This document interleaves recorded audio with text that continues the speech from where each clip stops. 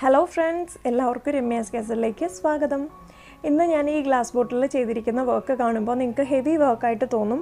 പക്ഷെ അങ്ങനെയല്ല ഇത് ഭയങ്കര സിമ്പിളാണ് എല്ലാവർക്കും ചെയ്യാനായിട്ട് പറ്റും. ബിഗിനേഴ്സിനൊക്കെ ഈസി ആയിട്ട് ചെയ്യാൻ പറ്റുന്ന ഒരു വർക്കാണ് അപ്പോൾ ആദ്യമായി നിങ്ങൾ ആരെങ്കിലും എന്റെ ഈ ചാനൽ കാണുന്നുണ്ടെങ്കിൽ ഒന്ന് സബ്സ്ക്രൈബ് ചെയ്തോളൂ.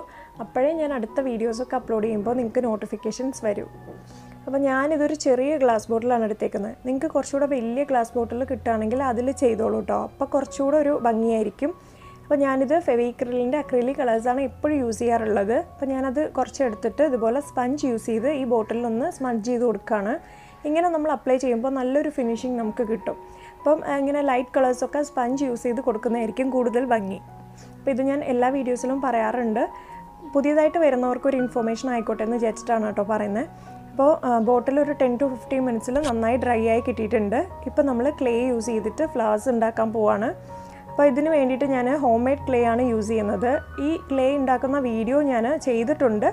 അത് കാണാത്തവരുണ്ടെങ്കിൽ നമ്മൾ ഡിസ്ക്രിപ്ഷൻ ബോക്സിൽ ലിങ്ക് കൊടുക്കാം. അതിൽ പോയി ക്ലിക്ക് ചെയ്താൽ നിങ്ങൾക്ക് ആ വീഡിയോ കാണാനായിട്ട് പറ്റും. അപ്പോൾ ഇത് ഞാൻ മൈദ യൂസ് ചെയ്തിട്ടാണ് ചെയ്തിരിക്കുന്നത് കേട്ടോ.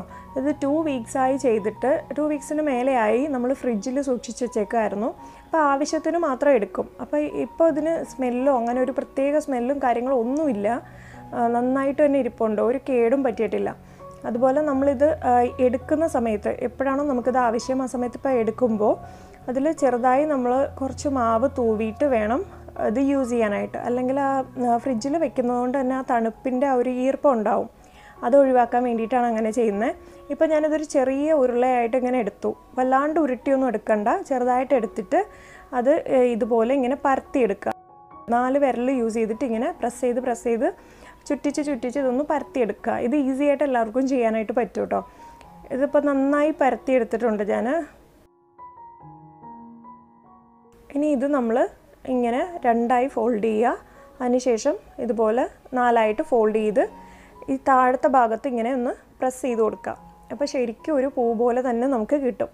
ഇതുപോലെ നമുക്ക് കുറച്ചധികം പൂക്കൾ ചെയ്തെടുക്കണം. ആദ്യം ഒരിച്ചിരി മാവിങ്ങനെ പിച്ചെടുത്തിട്ട് നമ്മൾ കയ്യിൽ വെച്ചിട്ട് ഒന്ന് പതുക്കനെ ഉരുട്ടിയെടുക്കുക. വല്ലാണ്ട് ഉരുട്ടി നല്ല ഷേപ്പൊന്നും കൊണ്ടുവരണ്ട. പതുക്കെ ഒന്ന് ഉരുട്ടിയിട്ട് ഇതിങ്ങനെ പരത്തിയെടുക്കുക.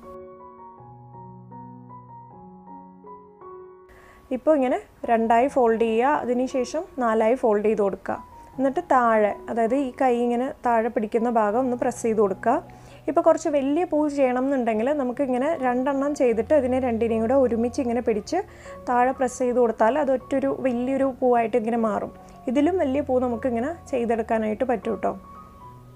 അപ്പോൾ ഈ വർക്ക് നമുക്ക് ഗ്ലാസ് ബോട്ടിലിൽ മാത്രമല്ല നമുക്ക് എന്താ പറയുന്നത് കാർഡ്ബോർഡ് പീസൊക്കെ ഉണ്ടല്ലോ വുഡിലൊക്കെ ചെയ്യാനായിട്ട് പറ്റും നമുക്ക് വാൾ ഹാങ്ങിങ് ആയിട്ട് അത് ഹാങ് ചെയ്യാനായിട്ട് പറ്റും വലിയ ഫ്ലവേഴ്സൊക്കെ ഉണ്ടാക്കിയാൽ അപ്പോൾ നമ്മൾ കുറച്ചധികം ഫ്ലവേഴ്സ് ചെയ്തിട്ടുണ്ട് അതുപോലെ തന്നെ ലീവ്സ് ചെയ്ത് കൊടുക്കുകയാണ് ലീവ്സും ചെയ്യാൻ വലിയ ബുദ്ധിമുട്ടൊന്നുമില്ല നമ്മൾ നമ്മുടെ കൈകൊണ്ട് തന്നെ ഇങ്ങനെ പിടിച്ച് വിട്ടാൽ മാത്രം മതി അത് നമുക്കൊരു ഇലയുടെ ഒരു ഷേപ്പ് മനസ്സിലാവുമല്ലോ ആ ഒരു രീതിയിൽ ഇങ്ങനെ കൈകൊണ്ട് പതുക്കെ ഒന്ന് പ്രസ് ചെയ്ത് ചെയ്ത് കൊടുത്താൽ മതി ഞാൻ ഈ ചെയ്യുന്ന രീതിയിൽ തന്നെ നിങ്ങൾ ചെയ്ത് കഴിഞ്ഞാൽ നിങ്ങൾക്ക് കുറച്ചധികം ലീവ്സൊക്കെ ചെയ്തെടുക്കാൻ പറ്റും.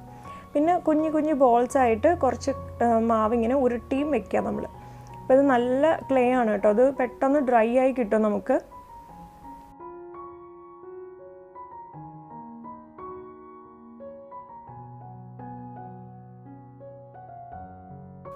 ഇപ്പോൾ ഈ എക്സസ് ആയിട്ട് വരുന്ന ഈ ഭാഗം നമ്മളിങ്ങനെ കട്ട് ചെയ്ത് കളയണം. അപ്പോഴേ നമുക്കത് ബോട്ടിലിൽ കറക്റ്റായിട്ട് സ്റ്റിക്ക് ചെയ്ത് കൊടുക്കാൻ പറ്റത്തുള്ളൂ.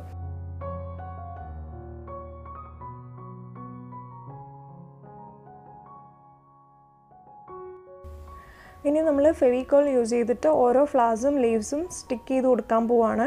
അപ്പോൾ ഫെവിക്കോൾ യൂസ് ചെയ്യുമ്പോൾ നമ്മൾ ഓരോ പൂക്കളും ഇതുപോലെ ഇങ്ങനെ ഒട്ടിക്കുമ്പോൾ അത് അവിടെ നിന്ന് ഇങ്ങനെ തെന്നി താഴേക്ക് വരാൻ ചാൻസ് ഉണ്ട്. കാരണം ഫ്ലവറിന് കുറച്ച് വെയിറ്റ് ഉള്ളത് കൊണ്ട് അതിങ്ങനെ തെന്നി വരും. അപ്പോൾ നമ്മൾ ഒരു വിരൽ വെച്ചിട്ട് ഇങ്ങനെ സപ്പോർട്ട് കൊടുക്കുക. അതുപോലെ തന്നെ ബോട്ട് ബോട്ടിൽ ഇങ്ങനെ കിടത്തിയിട്ട് വേണം നമ്മൾ ഫ്ലവേഴ്സും ലീവ്സും ഒക്കെ സ്റ്റിക്ക് ചെയ്ത് കൊടുക്കാൻ. നേരെ ബോട്ടിൽ വെച്ച വെച്ചിട്ട് ചെയ്യാൻ പാടില്ല കേട്ടോ ഇങ്ങനെ ചെയ്യുമ്പോഴാണ് നമുക്കത് കറക്റ്റായിട്ട് പെട്ടെന്ന് സ്റ്റിക്ക് ചെയ്തെടുക്കാൻ പറ്റുള്ളൂ. ഇപ്പോൾ വലിയ പൂക്കളൊക്കെ ആണെങ്കിൽ കുറച്ചധികം ഫെവിക്കോൾ അപ്ലൈ ചെയ്തിട്ട് വേണം നമുക്കത് സ്റ്റിക്ക് ചെയ്യാൻ. അപ്പോൾ അത് അവിടെ ഇരുന്നൂന്ന് വരില്ല. ചെറുതായിട്ട് ഇങ്ങനെ തെന്നി വരും. ഇത് നമുക്ക് ഈ ഫെവിക്കോൾ ഒട്ടാനായിട്ട് ഒരു ഫിഫ്റ്റി മിനിറ്റ്സ് ടൈം എടുക്കും. ക്ലേ നന്നായിട്ട് ഡ്രൈ ആവാൻ നമുക്ക് വൺ അവറിന് മേലെ എടുക്കും. ഞാനിതിപ്പോൾ നൈറ്റ് ടൈമിലാണ് ചെയ്യുന്നത്. അപ്പോൾ ഇപ്പോൾ ചെയ്തു വെച്ച് കഴിഞ്ഞാൽ എനിക്ക് മോർണിംഗ് ആകുമ്പോഴത്തേക്ക് നന്നായി ഡ്രൈ ആയി കിട്ടും. അപ്പോൾ ഞാനിത് കുറച്ച് പൂക്കൾ ചെയ്യാമെന്നൊക്കെ വിചാരിച്ചിട്ടാണ് ഈ വർക്ക് സ്റ്റാർട്ട് ചെയ്തത്. പക്ഷേ ഇത് ചെയ്തു വന്നപ്പോൾ എനിക്ക് കുറച്ച് അധികം പൂക്കൾ ചെയ്യണം എന്ന് തോന്നി. അങ്ങനെയാണ് ഇത് മൊത്തത്തിൽ ഫ്ലവർ ചെയ്തത് കേട്ടോ അപ്പോൾ ഇനിയും നമ്മൾ കുറച്ച് പൂക്കളൊക്കെ ചെയ്തെടുക്കും.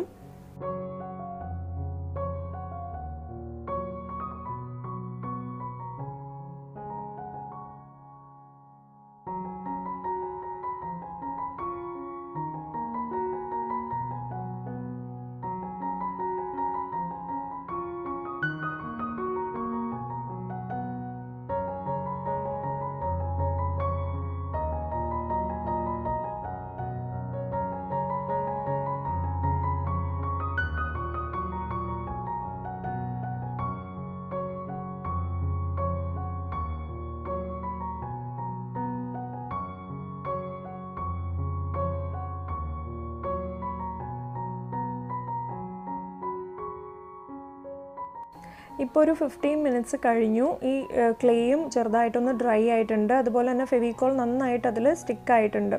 അപ്പോൾ നമ്മൾ ബോട്ടിൽ ഇപ്പോൾ നേരെ വെക്കാം. അപ്പോൾ ഇപ്പോൾ ആ പൂവൊന്നും അങ്ങനെ താഴേക്ക് ഉതിർന്നു പോവില്ല. അപ്പോൾ ഞാൻ എന്താ ചെയ്യാന്ന് പറഞ്ഞു കഴിഞ്ഞാൽ ബോട്ടിലിനെ ഇങ്ങനെ കിടത്തിയിട്ട് രണ്ട് സൈഡിലും ഞാൻ ഓരോ പെയിന്റിന്റെ ചെറിയ ബോക്സ് ബോട്ടിലുണ്ടല്ലോ അത് അപ്പുറത്തും ഇപ്പുറത്തുമായിട്ട് സപ്പോർട്ട് ചെയ്ത് കൊടുക്കും. അപ്പോൾ ഈ ബോട്ടിൽ അനങ്ങാണ്ട് അങ്ങനെ നേരെ ഇരിക്കും. അപ്പം ഞാനിതിൽ വൈറ്റ് കളറാണ് അപ്ലൈ ചെയ്ത് കൊടുക്കുന്നത് കേട്ടോ. അപ്പം ഞാനിത് വൈറ്റ് ഫ്ലവേഴ്സ് ആയിട്ട് ചെയ്യാമെന്നുള്ളൊരു ഐഡിയയിലാണ് ചെയ്തു വന്നത്. പക്ഷേ നമ്മൾ ഈ വൈറ്റ് കളർ അപ്ലൈ ചെയ്യുമ്പോൾ ഈ ഫ്ലവേഴ്സിന്റെ ആ ഒരു പെറ്റൽസൊക്കെ അങ്ങനെ നമുക്ക് എടുത്തറിയത്തില്ല. എടുത്തറിയണം എന്നുണ്ടെങ്കിൽ കുറച്ച് ഡാർക്ക് കളർ തന്നെ നമ്മൾ യൂസ് ചെയ്യണം. അപ്പോഴേ ആ പെറ്റൽസൊക്കെ ഒന്ന് ഹൈലൈറ്റ് ചെയ്ത് കാണിക്കുള്ളൂ. അതുകൊണ്ട് ഞാൻ കളർ ചേഞ്ച് ചെയ്യുന്നുണ്ട്. അപ്പം വൈറ്റ് മൊത്തത്തിൽ ഫ്ലവറിന് അപ്ലൈ ചെയ്ത് കൊടുത്തതിന് ശേഷമാണ് ഞാൻ പിങ്ക് ഷെയ്ഡ് കൊടുക്കുന്നത്. അപ്പം നിങ്ങൾ അങ്ങനെ ചെയ്യേണ്ട. വൈറ്റ് അപ്ലൈ ചെയ്യാണ്ട് തന്നെ നിങ്ങൾക്ക് പിങ്ക് ഷെയ്ഡ് കൊടുക്കാം. ഇതിപ്പോൾ ഞാൻ ചെയ്തതുകൊണ്ട് നിങ്ങൾക്ക് കാണിച്ചു എന്നേ ഉള്ളൂ കേട്ടോ അപ്പം ലീഫിനൊക്കെ ഇങ്ങനെ ഗ്രീൻ കളർ നമുക്ക് അപ്ലൈ ചെയ്ത് കൊടുക്കാം. ഇപ്പോൾ നമ്മളിത് അപ്ലൈ ചെയ്യുമ്പം ബാക്ക്ഗ്രൗണ്ടിലൊക്കെ ചെറുതായിട്ട് ആയിട്ടുണ്ട് കണ്ടോ? ബോട്ടിലൊക്കെ ചെറുതായിട്ട് ആയിട്ടുണ്ട്. അതൊക്കെ നമുക്ക് മൊത്തം ഫിനിഷ് ചെയ്തതിന് ശേഷം കളർ കൊടുക്കാം. ഗ്രീൻ കളർ തന്നെ ഒരു ബ്രഷ് കൊണ്ട് എടുത്തിട്ട് ഇങ്ങനെ ഔട്ട്ലൈൻ കൊടുത്താൽ മതി. പെർഫെക്റ്റ് ആയിട്ട് നമുക്ക് കിട്ടും. ഇതിപ്പോൾ ഞാൻ വൈറ്റ് കളർ അപ്ലൈ ചെയ്തതിന് ശേഷം ചെറുതായിട്ടൊന്ന് പിങ്ക് ഷെയ്ഡ് കൊടുത്തു നോക്കിയതാണ്. പക്ഷെ അത് അത്രയ്ക്ക് എനിക്ക് ഇഷ്ടമായില്ല അപ്പോൾ ഞാൻ മൊത്തത്തിൽ പിങ്ക് ഷെയ്ഡ് ആക്കി. അപ്പോൾ നല്ലൊരു ലുക്കാണ് കിട്ടിയത്. പിങ്ക് ഷെയ്ഡ് എന്ന് പറയുമ്പോൾ നമ്മൾ മെറ്റലിക് പിങ്ക് ഷെയ്ഡാണ് ഇതിൽ യൂസ് ചെയ്തേക്കുന്നത് അതായത് ഒരു പേൾ പിങ്ക് എന്ന് പറഞ്ഞിട്ട് ഫെവിക്രിലിന് അക്രിലിക് കളേഴ്സ് അവൈലബിൾ ആണ്. അത് എല്ലാ കളേഴ്സിലും അവൈലബിൾ ആണ് എന്നാണ് എനിക്ക് തോന്നുന്നത്. അപ്പോൾ ഞാൻ പിങ്ക് കളർ വാങ്ങിയിട്ടുണ്ട് ഗ്രീൻ വാങ്ങിയിട്ടുണ്ട് സിൽവർ ഗോൾഡ് അങ്ങനെ നാല് ഷെയ്ഡ് എന്റെ കയ്യിലുണ്ട്. അപ്പോൾ ഗ്രീൻ നമ്മൾ ഈ ലീഫിന് അപ്ലൈ ചെയ്തിട്ടുണ്ട്. ലൈറ്റായിട്ട് നിങ്ങൾക്ക് ആ ഒരു ഗ്ലിറ്ററിങ് ഷെയ്ഡ് കാണാം. അതുപോലെ ഈ പിങ്കും അപ്പോൾ ഈ ഈ ഒരു ലുക്ക് വേണം എന്നുള്ളവർക്ക് ഇതുപോലെ സൈഡിലൂടെ പിങ്ക് അപ്ലൈ ചെയ്ത് കൊടുക്കാം. പക്ഷേ എങ്കിൽ ഞാനിത് മൊത്തത്തിൽ പിങ്ക് ആക്കുകയാണ് അപ്പോഴാണ് ശരിക്കും ആ ഫ്ലവറിന്റെ പെറ്റൽസൊക്കെ നന്നായി ഹൈലൈറ്റ് ചെയ്ത് കാണിക്കുന്നത് പിങ്ക് ഷെയ്ഡ് കൊടുക്കുമ്പോൾ ഞാൻ രണ്ടും കൽപ്പിച്ചാണ് കേട്ടോ കൊടുത്തത്. കറക്റ്റായിട്ട് വരുമോയെന്ന് അറിയത്തില്ലായിരുന്നു. പക്ഷെ അത് ചെയ്തപ്പോൾ എനിക്ക് ഭയങ്കരമായിട്ട് ഇഷ്ടപ്പെട്ടു. കാരണം ആ ഗ്രീനും പിങ്കും ആയിട്ടുള്ള കോമ്പിനേഷൻ നല്ല രസമുണ്ട് കാണാനായിട്ട്. അപ്പം ഞാൻ കുറച്ചധികം ഫ്ലവേഴ്സും ലീവ്സും ഒക്കെ ചെയ്തിട്ട് ഇതിൽ സ്റ്റിക്ക് ചെയ്ത് കൊടുക്കാനേ അപ്പോൾ ഇത് നമ്മളുടെ ഇഷ്ടത്തിനനുസരിച്ച് നമുക്ക് സ്റ്റിക്ക് ചെയ്ത് കൊടുക്കാം.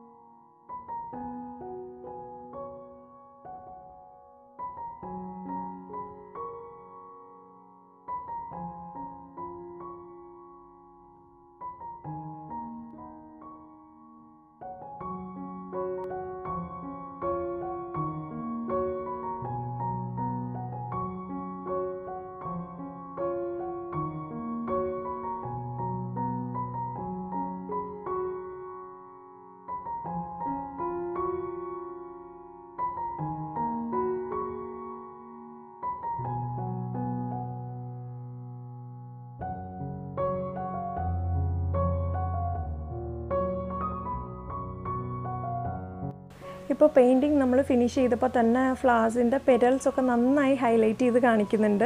അപ്പോൾ ഇതുപോലെ വേണം നിങ്ങളും ചെയ്യാനായിട്ട് കേട്ടോ അപ്പോൾ നിങ്ങൾക്കിത് ചെയ്തെടുക്കാൻ വലിയ ബുദ്ധിമുട്ടൊന്നുമില്ല. എളുപ്പത്തിൽ ചെയ്യാം. നമ്മളത് ഉരുട്ടിയെടുക്കുന്നതും ക്ലേ ഒന്ന് പരത്തിയെടുക്കുന്നതും ഫ്ലവർ ചെയ്യുന്നതും ഒക്കെ ഭയങ്കര എളുപ്പമാണ്.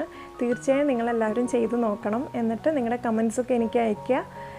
വീഡിയോ ഇഷ്ടപ്പെട്ടുവെങ്കിൽ ലൈക്ക് ചെയ്യുക. ഇനി നമുക്ക് അടുത്ത വീഡിയോയിൽ കാണാം.